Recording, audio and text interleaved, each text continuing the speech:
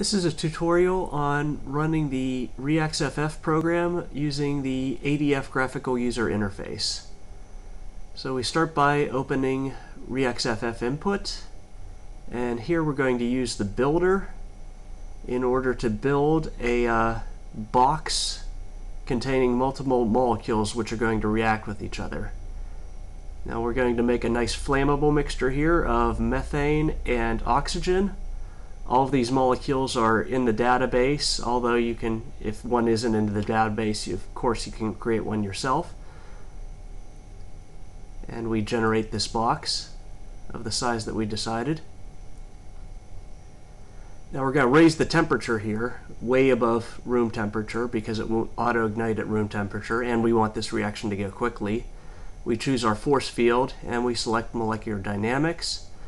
Now we're ready to burn this stuff. We have to give our calculation a name, of course. And we send it on its way. Now you can view the log file of the calculation to ensure that it is running.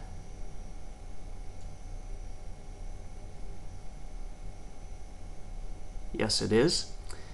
And we can use ADF Movie to actually get a graphical representation of the reactants and the products as they're being formed and as they're moving around. And here's the first few snapshots of the simulation and it updates in real time as the calculation's going. It's going to take a while so we'll step away for a few minutes here.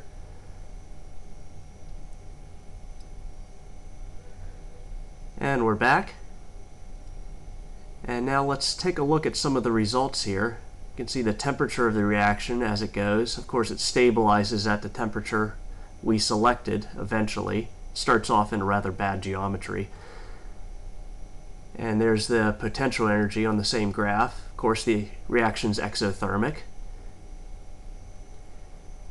And on a separate graph here, I'm going to show you the molecular fractions as this reaction takes place. Of course, we start out with methane and oxygen, and I'm going to add both of those to the graph here.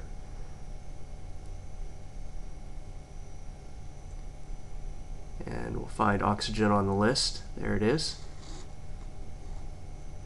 And as expected, the concentrations of both of those go down as a function of time. Now we're going to find the products of this reaction. Of course, we're burning a hydrocarbon. We're going to get carbon dioxide. And we're also going to get water. And the concentration of both of those go up as time progresses. There both of those are. There's also another product slash intermediate here, which is well known in combustion reactions, which is carbon monoxide. I'll put that up as well. And that concentration also starts out at zero and goes up, although it doesn't uh, continue to go up as water and CO2 goes, because CO, of course, burns itself. And if we click any place on the graph, or on any graph here, we can see the molecules that we're look that we want highlighted. There's water. There's methane carbon dioxide forming slowly, and carbon monoxide, a few of those as well. All right, that concludes this tutorial. Thank you for watching.